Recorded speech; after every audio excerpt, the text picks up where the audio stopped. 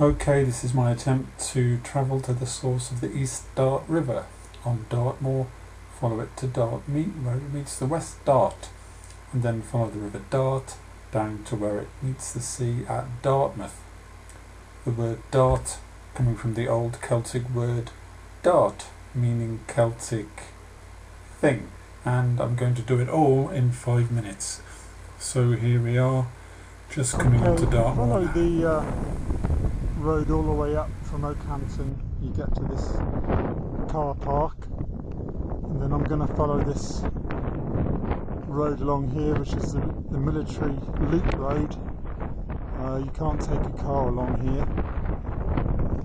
This is a place called New Bridge. It's where I've stopped for lunch. I'm using the Ordnance Survey uh, Dartmoor map. If you're interested, the reference is 595903. Okay, just when the track uh, starts to go downhill, you get to these two stones, and then you turn right, and that's the uh, path along to Ockerton Court. Okay, this place is called Ockerton Court. I don't know why it's called Ockerton Court. I've looked it up. I can't find any answers. It's actually not a court. It's a pool. Um, but anyway, let's move on. Okay, well, from Ockerton Court to um, Cranmere Pool letterbox, it's almost exactly. Uh, Well, south. this is it. This is uh, Cranmere Pool letterbox. Um, and as you can see, it's not really a pool. It's just a depression in the earth. I don't really know why it's so famous, but they have put a letterbox here. Okay, uh, One more bit of map reading. It's uh,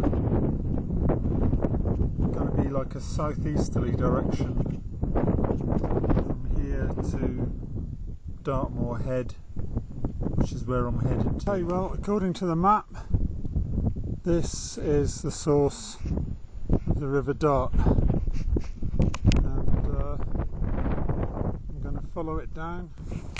Well, I'm only about a mile down the valley now, but you can see it's become a proper little stream. Right, I've arrived at somewhere called Sandy Hole Pass, uh, and I think this is where I'm going to make camp for the night. Well, all I've got to say about last night was that it was extremely wet. This is Postbridge, where I'm having my breakfast. There's nothing here really apart from couple of bridges. This is Dartmeet, where the East Dart and the West Dart join up. This is Buckfast Abbey on the banks of the Dart. And this is where I'll be staying on my way back.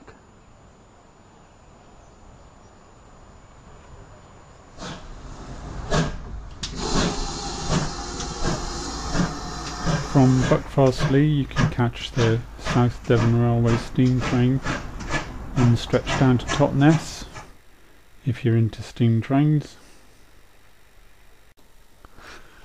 Okay, this is Totnes. We're getting towards the end of the journey now. From Totnes, we can get a boat all the way down to Dartmouth.